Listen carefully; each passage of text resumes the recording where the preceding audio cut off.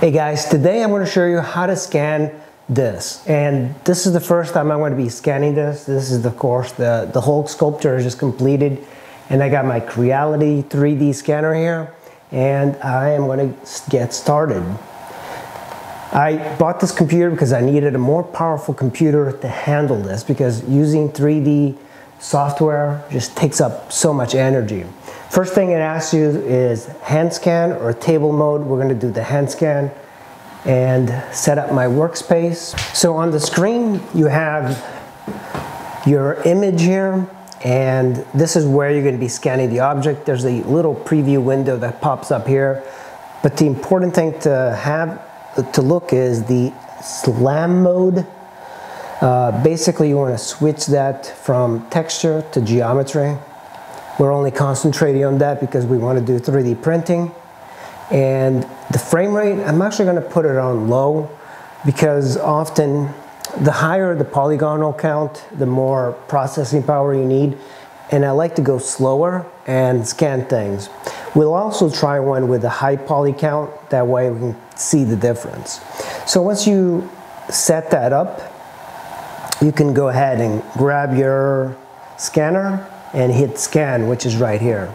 And hopefully this is gonna work. Sometimes you have to get more than a few. If you look at the monitor, you'll start to see a preview window. I'm gonna try and go for the head first. Notice the distance I'm holding it from the 3D uh, sculpture, but you can start to see that it is scanning. I'm at the head, and I'm moving pretty slow.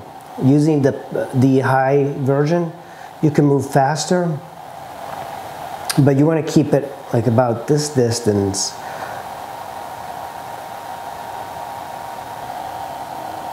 And now I'm getting the arm. If you look at the preview window, it's actually facing a very different direction. It's horizontal instead of vertical, which is not what I wanted. And now I might actually have to have this in there. So here we go. As I am moving and scanning, it's kind of like moving up.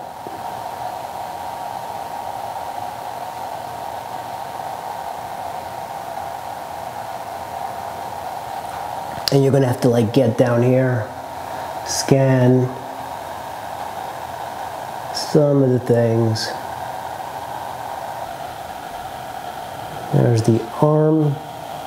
I'm trying not to get in the light too much, but it is capturing it fairly easy. Normally with something that's this color, it's a little bit more difficult. So I'm gonna try and scan looking up. This of course uses LiDAR as a technology to capture Okay. Uh, try not to move too fast. Now I'm going to move here. I'm to cross over the light, unfortunately. Tracking loss, as you can see, I'm going to move here where it was.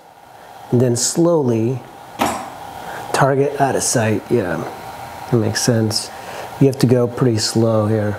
Target out of sight, maybe move up here to the head. It is a little time consuming to do it correctly. And you know, I'm seeing a crack on my sculpture that I didn't notice before. That's where I dug in using the tool to scoop out the torso. I'll show you guys in a minute. But it should be okay.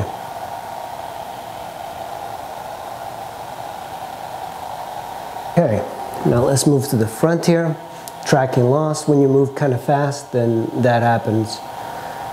Getting details of the foot. Now when you move the cable, it's got a very long cable, enough to do the details here. But you're gonna have to kind of like move it. Let's see if I can get the details. And I think we're ready. Uh, I'm just gonna rotate a bit here a little bit inside the arm, the bicep, and just get a little bit here. Sometimes like it's missing parts that I've already scanned, which is A little bit strange, but you just run it a little bit it'll come right back.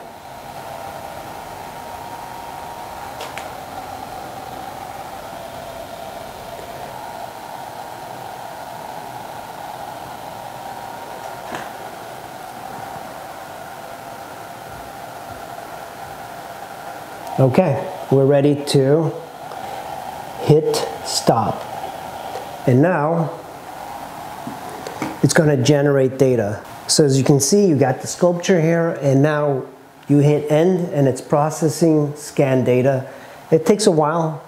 If I was using my old computer, this would take literally an hour and sometimes it would crash. This computer is a whole lot faster and it requires a lot of processing power. So right now it's gonna take some time, run through this, and then there's another step that I'll show you. Time to look at our model really quick to see if this is good enough. It's missing a little bit of the detail inside the hand, but I think that's gonna be fine because it'll be able to cover that up. But the major parts, let's see, look around. Missing a little bit of the back of the cab, but I think that's good. I'm gonna go ahead and process and then it's gonna give me a thing to simplify the faces and now it's gonna take a little bit of time. So now at this screen, kind of move it around, look at it a little bit uh, better and then hit next. And now this is the part that's gonna take a little bit more time. In this phase, it's gonna process it. This usually takes a little bit more time than the initial um, session and it's going to fuse, remove noise, repair, simplify, and going to add texture mapping to the model. Okay, at this point you're going to get an option for export.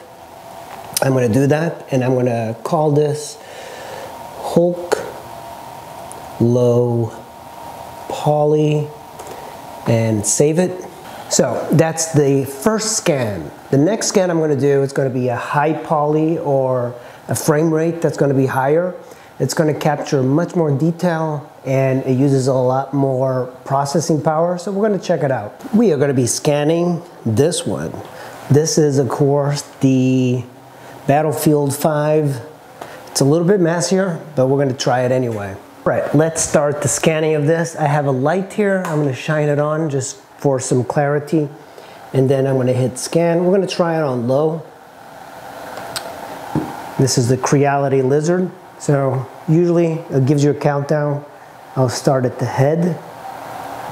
And if you look at the monitor, it is horizontal. For some reason I can't ever orient it well, but I'm gonna start at the head and we're just gonna work down and notice the distance. You wanna keep it at about 250 to 300 millimeters away from the model or centimeters.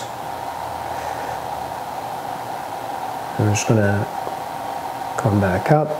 This sort of clay, the oil-based clay, is a little bit harder to scan because it's darker. There we go, just rotate over here, hopefully.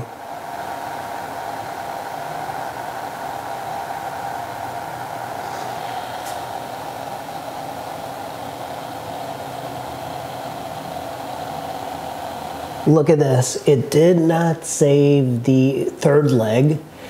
It's missing a little bit of the gun. But I think that's a pretty decent scan. So what I'm going to do now is process.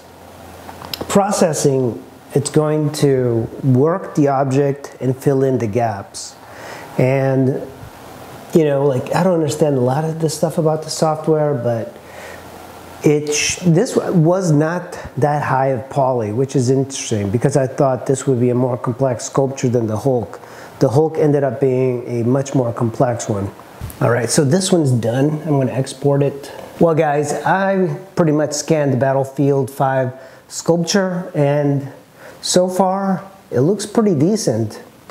Uh, if you like look around, there's a couple of parts missing here and there, but nothing particularly egregious, nothing that you really can't fix in a 3D program. You can see that it has the metal armature But from this, you should be able to like modify it and get a printout. Now the, the big question is, can you print it out this big? And the answer is no, because the 3D printer I have is much smaller. The print area is about this big, but you could make a pretty decent sized replica. Also, this is gonna use a lot of plastic. And also, when you're 3D printing, you need support so you can print, you know, for example, the gun, you'll basically put like a um, piece of plastic here that you can like peel off and break off. So that uses up quite a bit of plastic, but still, that's much better than just, I think, making a mold of this because it's so much more cost effective. If, even if you use one entire spool to do this, that's $20 in a spool. You can get the spools of plastic for like $17. And to me, that's kind of worth it. You know, this is not even a finished uh, project, but I think this is a good way to go about it if you don't have that much money to spend on molds. But that's pretty much it. The next videos I'm going to show you guys are the printouts of these, so stay tuned for that. And thank you for watching, and I really appreciate it. I'll see you next video.